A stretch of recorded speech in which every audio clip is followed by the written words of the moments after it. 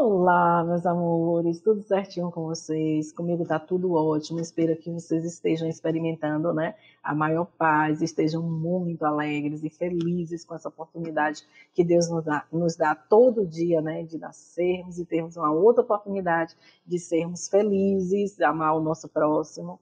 Então, eu espero do fundo do coração que vocês estejam experimentando, né, essa paz maravilhosa. Bom, como vocês já sabem, eu sou a professora Rosivânia, eu trabalho com a disciplina Geografia. Hoje nós vamos ter mais uma aula para o sétimo ano, é a nossa aula 24, e ela é, né, é uma aula continuidade desse projeto que a gente está tendo agora, falando sobre as regiões brasileiras. Né? Hoje nós vamos falar de uma região muito especial, que é a nossa região Nordeste, com toda essa característica, o, o nosso povo, a nossa identidade, o nosso espaço, né? É esse lugar que a gente se sente feliz, que nos representa, né? Com esse clima maravilhoso, com essa complexidade de lugares, uns muito, digamos assim, arborizados, outros não tão arborizados assim, alguns é a passagem de um espaço seco para um espaço úmido e também essa zona da mata aí recebendo essa influência dessas praias lindíssimas e paradisíacas que nós temos no nosso Nordeste. Então, eu costumo dizer que nós vivemos num cantinho particular do mundo, onde temos oportunidade de experimentar os mais diversos tipos de ambientes, diversos tipos de espaço. Se você gosta do calorzinho, a gente tem muitas praias aí a gente, se você gosta, né, dessa parte de, de desafios, de trilhas, nós temos muitos planaltos, muitas chapadas. Se você gosta, né, de, dessa parte de floresta, a gente tem lá o Maranhão, né, que pega uma parte da floresta amazônica. Então, nós temos de tudo. E nós aqui de Feira de Santana, estamos numa zona de transição, né, que é o Agreste, e aí a gente fica naquela coisa maravilhosa de é, enfrentar um tanto a parte úmida que vem lá né, da, é, da parte da zona da mata e enfrentar também aquelas paisagens de resistência do sertão que o fato da gente estar no meio, a gente experimenta essas duas sensações aí, né? Então, seja bem-vindo à nossa aula de hoje. Ali os nossos cactos como símbolo de resistência, porque o nordestino é resistente, a gente se adapta, a gente se recompõe e a gente vai vivendo, vai sobrevivendo aí, né? Assim como os cactos. Então, tema da aula de hoje, região Nordeste. E vou logo falando, não é só hoje, essa aula a gente tem também uma segunda parte. Então, essa é a parte 1, onde nós vamos falar mais da parte física, né? Da parte natural. Falar do clima, do relevo, da vegetação, da nossa hidrografia, dos problemas que estão sendo acometidos a ele. Então, nós vamos passear mesmo pelas paisagens do Nordeste, né? Então, vamos lá? Olha, o que foi que a Pro colocou aqui, né, para gente logo de cara. Normalmente, quando a gente fala do Nordeste e que fala que vai apresentar as paisagens do Nordeste, a primeira coisa que vem na cabeça da maioria das pessoas é aquele solo rachado, aquelas áreas né, com os cactos, com facheiro, com mandacaru. Então, eu quis mudar um pouco essa cara e esse, né, digamos assim, é, esse pré-conceito estabelecido que a gente tem com relação ao Nordeste, que só tem a questão né, do, do sertão, né, do semiárido, aquele clima bastante quente em que quase não se desenvolve muita coisa. Então, aqui chamar a atenção que no Nordeste nós temos polos de desenvolvimento, sim. Esse é o polo de Aratu. Então, nós temos, né, ali na região de Candeias, né, aqui bem pertinho da gente, é, nós temos festas maravilhosas, né, a exemplo né, do, do Carnaval, esse é o Carnaval de Pernambuco, mas nós temos o Carnaval de Salvador também, que é belíssimo. É, Diga-se de passagem, são carnavais diferentes, né? todos dois são de rua, mas uns são mais aqueles blocos, né, em que eles vão formando pequenos blocos e que depois todo mundo se junta e forma aquela grande festa. E já o Carnaval de Salvador, né, são blocos empresariais que as pessoas compram, né, a camisa e passa a ter o acesso ali. Então, é, que não deixa de ser igualmente, né, legal participar da festa. E também as nossas belas paisagens, né? A gente tem aí a ilha de Fernandes de Noronha, ali a gente tem, né? os morros gêmeos. Então, na realidade, olha que mar, gente, que beleza, que maravilha. A gente tem muitas praias lindas e eu quero começar falando do nosso Nordeste, chamando atenção para isso, para essas maravilhas, né? O desenvolvimento, as festas e lugares maravilhosos que o Nordeste tem. Então vamos lá? Bom, aqui localizando, né? Porque professor de geografia gosta de mapa, gente. A gente não pode deixar de trabalhar com mapa de jeito nenhum. Nós amamos um mapa. E vocês acabam né, amando junto com a gente também, né?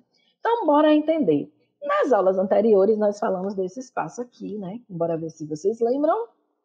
É a região da Amazônia. Ah, será que vocês lembram também por que está dividido só em três? Porque nós não estamos trabalhando com a divisão oficial do Brasil, que é aquela feita pelo IBGE, né, que é o Instituto Brasileiro de Geografia e Estatística, que divide o Brasil em cinco regiões. Nós estamos trabalhando com as geoeconômicas, aquela né, de Pedro Pinches Geiger, né, e que ele divide o Brasil em três grandes regiões geoeconômicas. Aí, aqui o Nordeste. Percebam que o Nordeste ele é composto por nove estados, né, como você já sabe, mas nessa divisão aqui, ele só pega metade do Maranhão. E tem outra particularidade que ele pega também o norte de Minas Gerais, né? Então a gente tem aqui todo esse espaço representado de vermelho. Ou seja, eu vou pegar todos os estados da região Nordeste e o que eu vou prestar atenção, só para gravar nisso, né, para chamar a atenção, qual é a diferença, é que eu não pego o Maranhão completamente, eu só vou pegar metade do Maranhão. Porque a outra metade do Maranhão também pertence né, a essa região, segundo o IBGE, e que tem aquela parte que ele disse né, da floresta amazônica. Então, aqui a gente está pegando uma característica mais física Aí nós pegamos aqui a região Nordeste, somente a metade, para ter mais aquelas características dos climas, né? E da economia daqui. E a parte norte, né? O Vale de Equitinhonha, daqui de Minas Gerais, né? Então, bora ver. A região geoeconômica do Nordeste do Brasil é a área de povoamento europeu, mais antiga e atualmente a segunda do país em população e em PIB, que significa Produto Interno Bruto, tem uma área de aproximadamente né, 1.542.271 quilômetros quadrados, o que representa 20% do território brasileiro. Aí, bora entender o que, que é isso né, para a Rose. O que, que a gente está querendo dizer com essa área de povoamento europeu?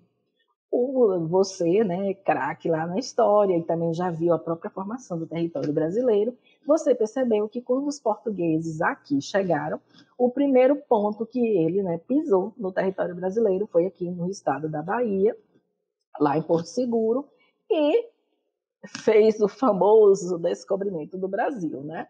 Eles tiveram os primeiros contatos com os povos nativos, que eles apelidaram de índios, né? E nesse espaço aqui, eles começaram a desenvolver a economia do, quer dizer, desenvolver ótimo, né? É uma palavra boazinha para representar a ideia de que tudo que eles plantaram aqui, eles levaram lá para Portugal, né? Então, começamos primeiro né, com a retirada do pau-brasil, depois o plantio da cana-de-açúcar, teve o algodão, a criação de gado. Então, por isso que ele coloca que essa área de povoamento europeu é mais antiga é considerada a segunda população, é, em população, ou seja, o número de habitantes, embora a gente tenha a maior parte desses habitantes aqui, né, no litoral, é, e o nosso sertão semiárido, eu vou falar mais adiante um pouquinho, né, sobre essa questão da população, e a gente tem a segunda, bora dizer assim, maior produção econômica do país, justamente pelo fato da grande quantidade de indústrias que agora estão vindo para cá, né. Aí nós ficamos dividindo essas três regiões. A primeira, né, a nível de PIB, seria o Centro-Sul, que nós ainda vamos falar. A segunda, o Nordeste. E a terceira, a região Norte. Né? Vamos indo, que tem muita coisa ainda por aí para a gente ver né, nessa aula. Aí, o Nordeste, como eu falei para vocês, a gente tem uma complexidade de paisagens, né?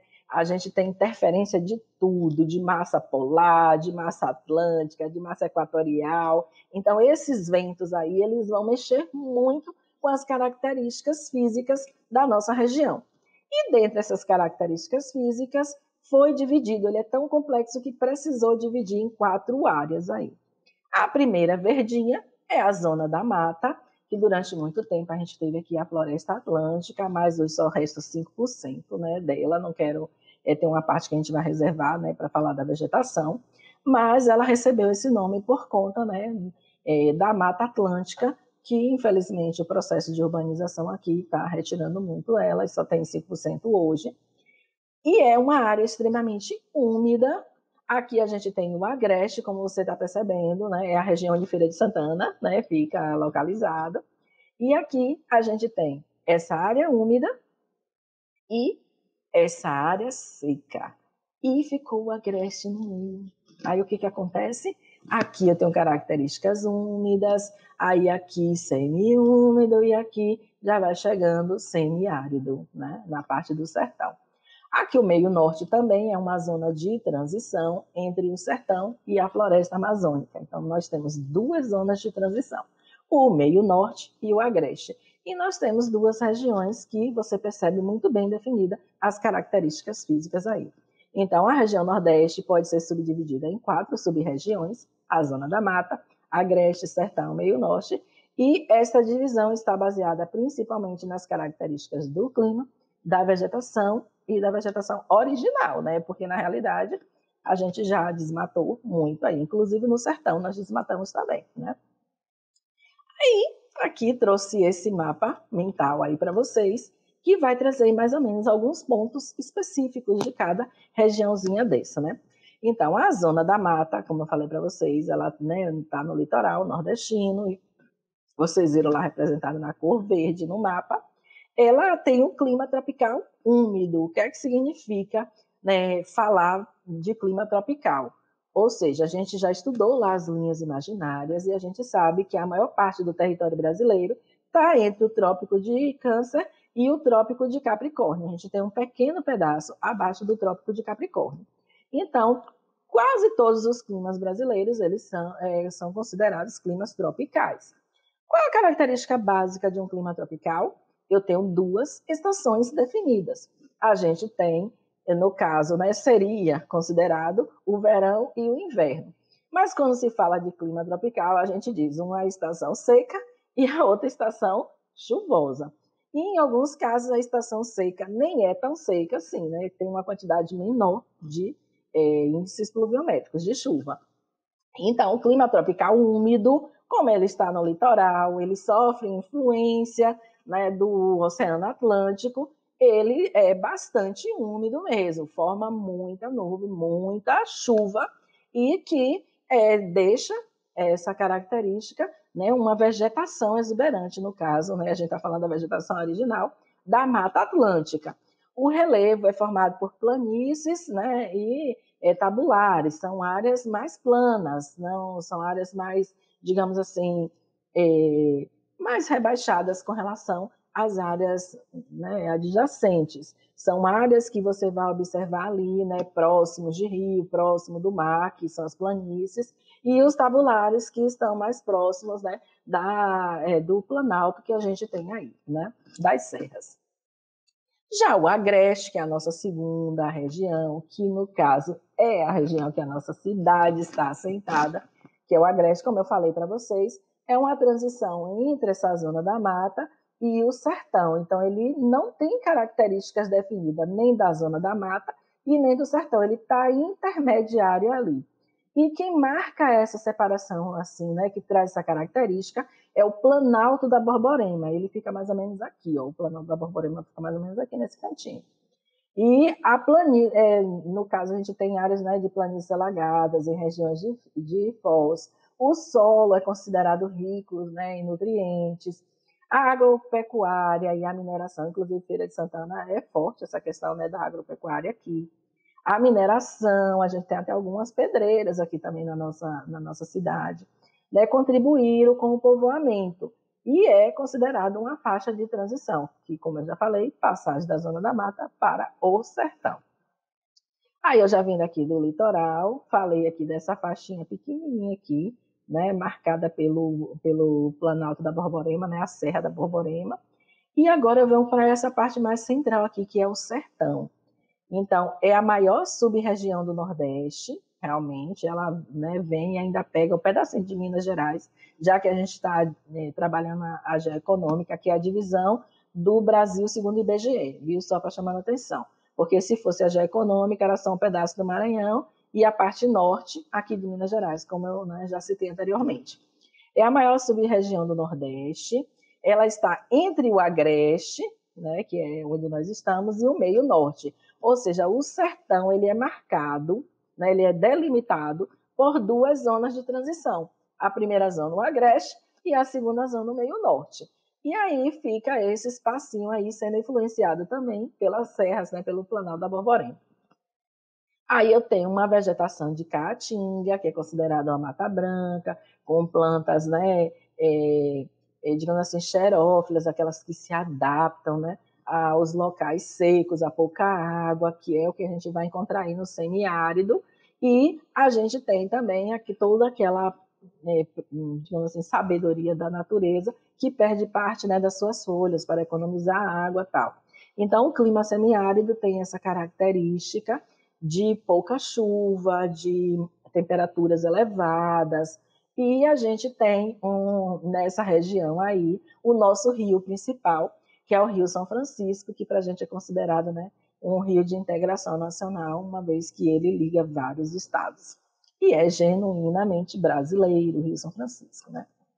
Bom, o meio norte, que é a última divisãozinha que tem, já está aqui quase colada na região norte, o forte deles são as matas dos, é, do, dos cocais, né, com suas palmeiras, né, onde a gente tira o palmito, onde tem a questão do açaí, né, do babaçu. Então, é, a piaçava, a gente tem muita coisa aí, mas eu não quero muito me ater na parte da economia, que essa é a nossa segunda aula sobre a região Nordeste. Né? E encontra-se nos estados do Maranhão e do Piauí, a influência do sertão nordestino, porque se ela está numa zona de transição, vai ser igualzinho como é aqui o Agreste. Ora vai ter característica do sertão e ora vai ter característica da floresta amazônica, né? Então ela é influenciada por isso. E o cerrado também, né, pega na partezinha já aqui, principalmente, pega um pedacinho da Bahia também, né? E a gente tem aí esse, é, bora dizer assim, esse mix de paisagem, horas paisagens é, bastante exuberantes, né, com florestas e tudo, e ora paisagens né, de cerrado, paisagem de, é, de semiárido, né, com aquelas plantas de baixo porte, mais retorcida, ali que só espera uma chuvinha para transformar totalmente ali aquele ambiente, né?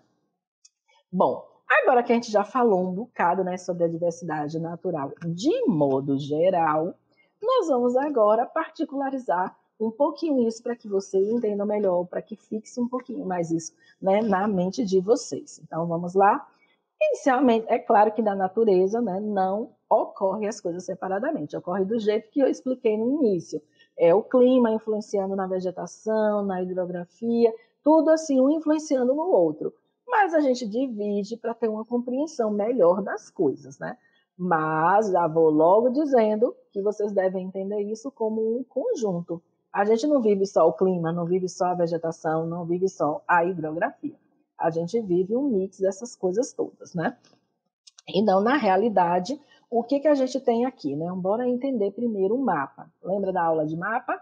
A gente, para entender esse mapinha, olha o que eu falei para vocês, a gente adora o mapa.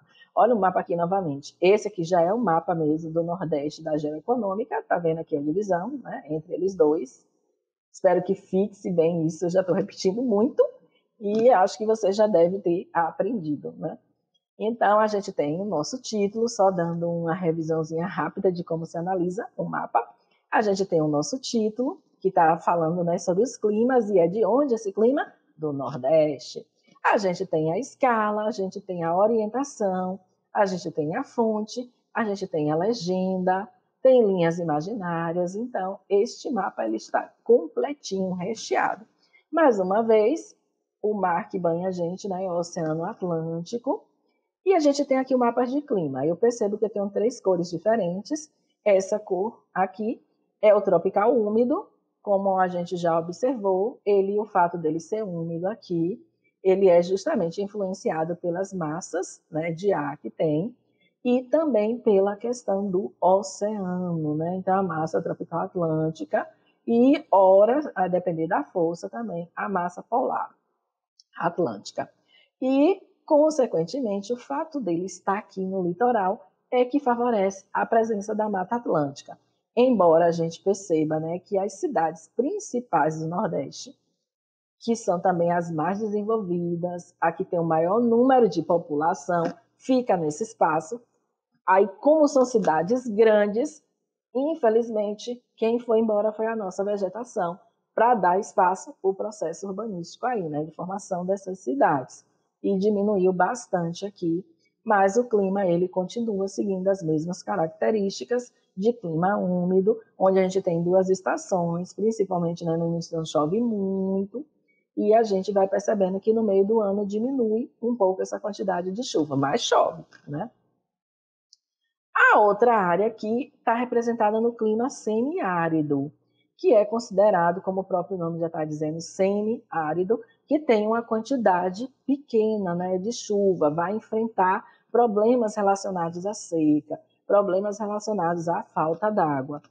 E a gente tem esse riozinho aqui, que é o Rio São Francisco, que aqui vai dar um refrigériozinho né, à população dessa região aqui, que a gente tem com o clima semiárido, que é esse clima com as máximas de chuva bastante né, baixas, chove o mínimo possível, mas chove, viu, gente? E aí a gente tem esse pedacinho aqui, que é o tropical, é o tropical característico, aquele tropical mais continental, que vai sofrer a influência mesmo das condições continentais. Ele, você vai ter duas estações também definidas, porque tudo é tropical, tropical semiárido, tropical úmido tropical é, comum, que é o continental. Também duas características de estação né, chuvosa, outra estação seca. A diferença é a quantidade maior de chuva. Né? A gente tem na Mata Atlântica a influência do Oceano Atlântico, muita chuva, no período mais seco, menos chuva. A gente tem nesse tropical a influência aí dos rios, da floresta. Aí no período de chuva a gente vai ter uma quantidade maior de chuva, mas também no período mais seco diminui a quantidade de chuva. A diferença do semiárido é que as chuvas elas são incipientes, elas não, elas são espaçadas e isso dá uma característica né, de aridez ao ambiente. Aqui, né, eu dei um destaque maior para o semiárido, que é essa região aqui que a gente está observando, né, muito grande até o espaço dele, um milhão de quilômetros quadrados, e falando sobre a questão né, da seca, infelizmente a seca é vista pelos nossos governantes como uma questão rural e não como uma questão ambiental.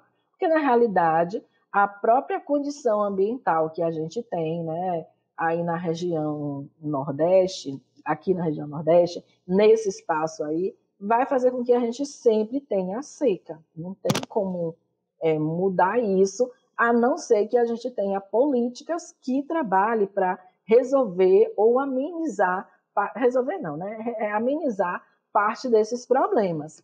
A gente sabe que tem longas estiagens, todo ano a gente enfrenta essas longas estiagens.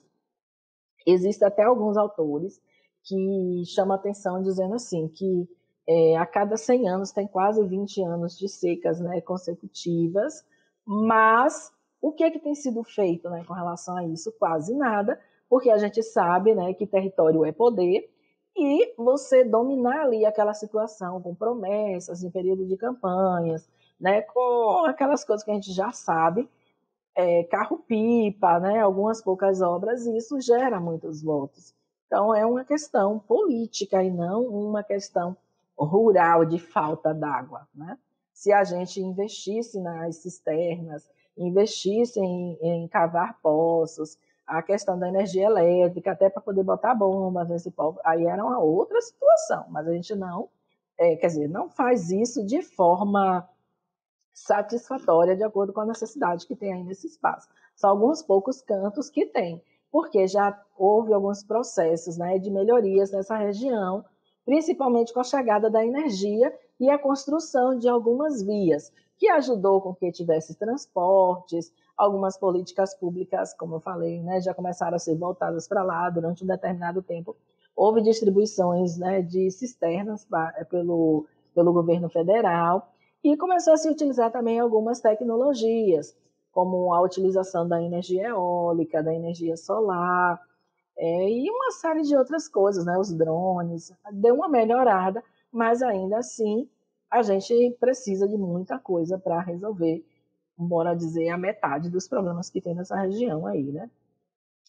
A pecuária, né, de animais de médio, de pequeno porte, a gente ainda insiste muito na criação de gados, embora estudos já demonstraram que a criação né, é de cabras, é, a caprinocultura, eles têm mais resistência a esses períodos de seca, então não tem muita perda de animais que eles comem, né? É praticamente tudo.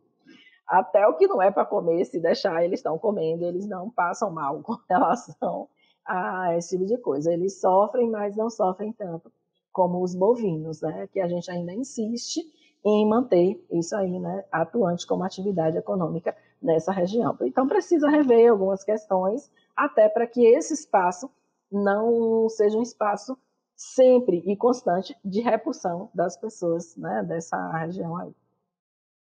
É, eu estava falando de secas, né, coloquei aqui para vocês essa parte aqui né, das secas históricas. A gente foi colocado aqui de 2011 até 2016. Aí você está observando aí, né, digamos assim, é, o verdinho e o, o, o que está verde né, esse, esse período aqui da legenda, porque não participou né, da questão da seca. O que está mais ou menos da situação do verde né, para o amarelo e chegando no vermelho, vai aumentando o período, né, o espaço seco. Aí eu percebo aqui que nessa região central, aqui em 2011, o que foi mais acometido né, com essa seca, e esses pontinhos aqui de vermelho, que ficou bem próximo, né, do, do Planalto, da Borborema, pegou a parte até do Agreste aqui, né? Aqui mais esse espaço foi aumentando. Perceba que os anos vão passando e as secas, né, eles vão aumentando. Aí houve um refrigériozinho aqui, nesse em 2014, voltou com tudo de novo em 2015, mas ruim mesmo já foi em 2016. E a gente percebe que mesmo que nos outros espaços o que era verdinho, aqui nesse espaço já houve um estrago muito grande. Então, a de 2016, essa foi considerada né, a última seca que nós tivemos e ela foi uma das mais severas, né? Em 1970 nós também tivemos outra, mas a gente né, chama a atenção dessa aqui. Nesse momento para vocês, né? Aí, olha a pergunta que a maioria dos alunos, né, gosta de de falar por que do Nordeste, por que não chove no, no sertão nordestino, né? É, na realidade, chove sim, gente. Mas os alunos, toda vez que a gente fala da seca, ele entende que não chove. Mas o que a gente está falando da questão da chuva é a quantidade de chuva comparado com os outros locais, né? Que a quantidade de chuva é pouca. E aí vocês, a maioria dos alunos, assim, ah, mas não chove, é seco porque não chove no Nordeste. Chove sim, é, as chuvas, infelizmente, elas são esparsas, elas não são concentradas em determinado é, período, como ocorre nas outras regiões, mas chove. Chove bem menos, mas chove. E eu vou explicar aqui por que, que a gente tem essa quantidade incipiente de chuva, né? Vocês estão estão é, percebendo, aqui ficou faltando, né? Aqui o número 11 cortou um pouco a imagem, mas vocês estão percebendo que é, um dos fatores, né, o ponto, né, o início, são esses ventos alísios aqui, né, que formam no oceano. Eles são um pouco, bora dizer assim, apesar de estar na zona próxima do Equador, eles são um pouco mais frios e não formam as nuvens que a gente precisa aqui.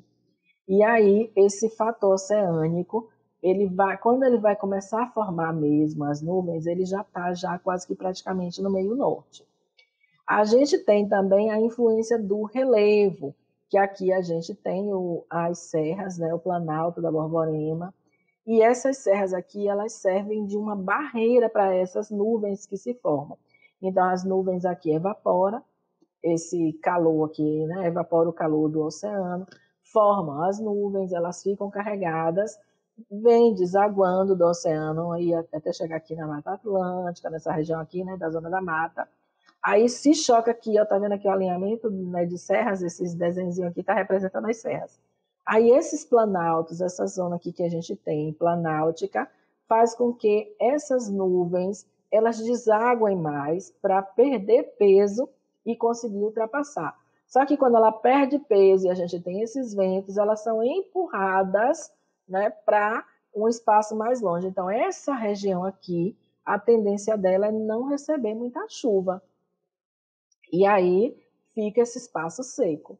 Outro fator que interfere também na quantidade de chuva são as frentes polares, né? As, a massa atlântica polar.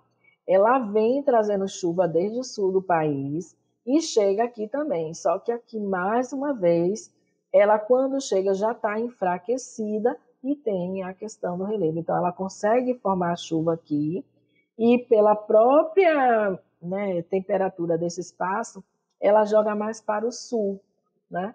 E a gente não não vê adentrar muito essa, esse refrigério que essa massa polar acaba trazendo, e até porque ela já perdeu aquela força que ela tem. Outro fator também são os fatores né, atmosféricos, por conta da própria circulação, dos ventos, né? a falta de vegetação, faz com que não tenha muito evapotranspiração, não forme muita nuvem, e, consequentemente, se não forma muita nuvem, não tem como chover. Né? Então, esse, esses quatro fatores em conjunto aí eles influenciam. Então, os fatores oceânicos, o fator do relevo, das massas polares e os fatores atmosféricos interferem aqui que essa região tenha muita chuva. Quando eu consigo escapar aqui dessa barreira orográfica que a gente chama de chuva de relevo, isso aqui, né, ou chuva orográfica, que é aquela chuva é, que tem muito forte aqui nessa região, por conta de que a nuvem ela precisa perder peso para novamente receber essa evapotranspiração e continuar chovendo. E aí, quando ela perde peso, ela também ganha altura. Aí, quando ela vai descer, já está já no meio norte. A gente não tem muita chuva aqui nesse espaço. Espero que vocês tenham entendido. Então, não é que não chove no Nordeste. Chove numa quantidade né, pequena né, de chuva. A vegetação, que é outra característica do Nordeste, a gente diz assim, ah, o Nordeste. Aí todo mundo já quer fazer um cacto, já quer fazer uma palma, um facheiro, um mandacaru, um chique-chique. Todo mundo já quer fazer logo isso. Mas no Nordeste, você vai aprender, vai gravar a partir de hoje, que nós temos de tudo. Floresta, nós temos o cacto, o facheiro, mandacaru, temos muitas palmeiras. Aqui, levando em consideração né, as regiões, seguindo as regiões, né, a zona da mata, o agreste, né, o sertão e o meio norte, a gente tem aqui, em locais mais úmidos, a ocorrência de mata atlântica. Olha aqui essa presença né, dessas matas, chamando mais uma vez a atenção que já, é, infelizmente, né, o homem já desmatou muito. A caatinga, que apresenta plantas com aspectos retorcidos, como vocês estão vendo aí, né, aqui o cacto, tudo bonitinho. É, além de cactos e plantas, né, espinhos típicas das áreas de clima tropical semiárido. A gente tem uma série de plantas. Mas a gente só tem cacto, só tem chique-chique, só tem facheiro, não. A gente tem um buzeiro também, tem um cajueiro. Essas plantas né, que a gente tem. Mas as características mesmo dos locais mais secos é que vocês vão encontrar são essas plantas aí. Em locais que ocorre o clima tropical, como no centro-oeste da região, é encontrado cerrado. Aí a gente vai perceber, principalmente né, na parte é, oeste da Bahia, a gente vai encontrar vegetação parecidinha com a que a gente vai encontrar lá na região do Cerrado. No extremo oeste da região nordeste, onde o clima é equatorial, a vegetação encontrada é a floresta amazônica, além da ocorrência da mata dos cocais, né? Como eu já falei para vocês, com aquelas castanhas, com palmito, né, o açaí, a gente tem isso aí. Então, a gente vem dessa região, uma zona de transição, com essa zona semiárida e a zona da mata. Então, a gente tem ambientes para tudo quanto é gosto na, na, na, região Nordeste, por isso que ela é especial. Aqui a gente tem o desmatamento, eu gostei muito desse mapa do Riló. A gente tem a maneira, eita, cabra da peste. Aí aqui, né, a pessoa que fez deu essa estilizada também no nome do mapa, colocou desmatamento da peste, né? E aí a gente tem esse pedacinho aqui, né, da distribuição do derrubado do bioma da Caatinga. Esse mapa aqui ele não está falando, né, basicamente de outros, ele está citando a Caatinga, que é esse pedaço, né? Aí a gente bota a vegetação na cor verde, porque ainda existe a vegetação, e vegetação de caatinga, não é para você entender floresta, e o desmatamento. Então eu percebo que mesmo a vegetação de caatinga, aquela adaptadas a locais secos, né, com aquelas plantas xerófitas, o facheiro, chique-chique, mandacaru, cajueiro, buzeiro e tal, essa vegetação aqui também está sofrendo né, o desmatamento principalmente por conta né, das condições de vida da população que vive aí, que desmata às vezes até para cozinhar, né, pega muito esses vegetais para as atividades mesmo que precisa usar, que o gás de cozinha também, pelo fato do desenvolvimento da região, além de ser muito caro, às vezes né, eles não têm acesso a isso. E aí tem, infelizmente, a derrubada desse bioma da Caatinga. Aqui esses números representam as cidades né, a nível de nasceu os mais desmatados. A gente tem aqui no Ceará logo dois, né? A gente tem três, mas o primeiro e o segundo está aqui. Aqui da Bahia também, né? A gente tem a região de Bom Jesus da Lapa, Campo Formoso, é, Tucano e Mucugê, né? Aqui da parte da Bahia, ó, esses quatro cantinhos aqui. E o resto está espalhado aqui, né? Em Pernambuco, é, na Paraíba e no Rio, e na Paraíba e no Rio Grande do Norte a gente né, não entrou entre os 10, mas também pela própria cozinha aqui do mapa a gente observa que tem uma condição específica, bem, bem expressiva mesmo. Quanto né, ao que resta né, dos biomas originais, eu não vou falar dos outros, o que interessa para a gente mesmo são esses aqui ligados à região Nordeste no momento. A Caatinga só resta 54% do seu bioma original, e infelizmente a Mata Atlântica, que é o que tem no litoral né, da gente, só tem 7%, e assim mesmo muitas áreas de reserva, e mais na região centro-sul do que na região nordeste. Por fim, a área desmatada de 2002 até 2008, que sofreu muito também agora nesses dois últimos anos, a gente tem a Bahia liderando o processo de desmatamento nesse período. Isso é ruim, né? Mas, em compensação, é o que temos para hoje. Então, a Caatinga, que já tinha 43% de sua área devastada nesse período, né? Perdeu mais 2% de sua área de vegetação entre 2002 e 2008. E se a gente pegar os mapas da agora, vocês vão perceber, porque né, não achei o mais atual, mas quando sair esse mapa, você vai perceber que essa situação piorou. Infelizmente, piorou. Né? Não posso dizer que melhorou. Vamos lá, bacia hidrográfica.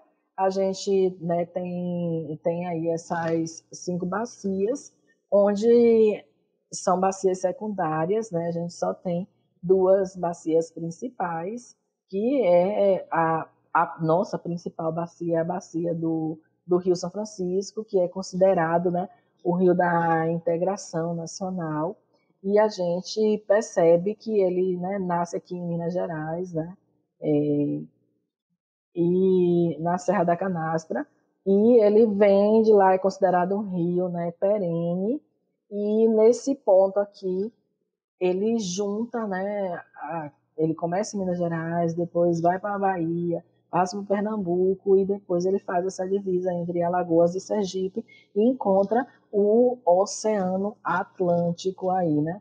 A, a gente tem outra bacia principal também, que é a do Parnaíba, mas só que de qualquer forma, ela não tem a importância que a bacia do São Francisco tem. E essa importância a gente vai ver logo mais adiante, né? Pelo fato de ser um rio perene, de ser um rio que agrega, né? E que tem muitas cidades ao seu entorno e que agrega desenvolvimento no local onde ele passa. E nós temos as bacias secundárias, ou seja, o que é uma bacia secundária para aquela que não tem um rio principal. São vários rios que tem ali naquele espaço que foram agrupados ali por conta das características físicas do lugar. Um, uma grande polêmica né, no Rio São Francisco é a questão da transposição. E aí, o que, que é essa transposição? A integração do São Francisco e os rios temporários, né, do semiárido. O que, que acontece? É, a ideia principal disso, né, para a gente resumir, é retirar parte das águas do Rio São Francisco para alimentar outros rios que não são considerados rios perenes. É claro que esse projeto gerou muito transtorno, porque alguns achavam que iam prejudicar. O Rio São Francisco já era assoreado em alguns cantos, é, apesar de ser um rio perene, aquele que não falta água, né, nenhum momento do, do ano, mas já tinha alguns locais que o nível da água tinha rebaixado muito, então é, gerou muita preocupação e ainda gera, né, muita preocupação com relação a isso. Esse projeto demorou um certo tempo a ser feito, ainda perdeu parte dessas águas, mas ele tem essa importância aí, se funcionar mesmo, né? É, e tomara que não seque, né? O nosso rio, o velho Chico, né? Como ele é apelidado, ele vai favorecer essas regiões aí. Ah, o questionamento também é que parte dos terrenos são grandes fazendeiros, né? Políticos que estão aí nessa região. Então tem uma série de questões ambientais e de questões políticas envolvendo essa questão da transposição do Rio São Francisco. Mas o que acontece é que já é um projeto há muito tempo que o pessoal estava pensando nele. E ele tem esses dois eixos, que é o eixo leste e o eixo norte. Aí vocês estão vendo, né, o eixo norte e o eixo leste, um, o eixo norte 402 quilômetros e o eixo leste 220 quilômetros. E a barca, bora dizer assim, né, é, agraciou 390 municípios. Então, muita coisa. Bom, na revisão, o que eu posso dizer para vocês é que é, o Nordeste ele possui essas características diversas de paisagens e que ela está subdividida nessas quatro regiões e que os elementos naturais, né, como relevo, as massas de ar, é, o clima, ele vai dar uma particularidade diferente para cada uma dessas regiões aí. Bom, gente, essa foi a nossa aula de hoje. Convido vocês para assistir a segunda parte dessa aula um beijo para vocês, né? E obrigado por ter ficado aqui com a gente até agora.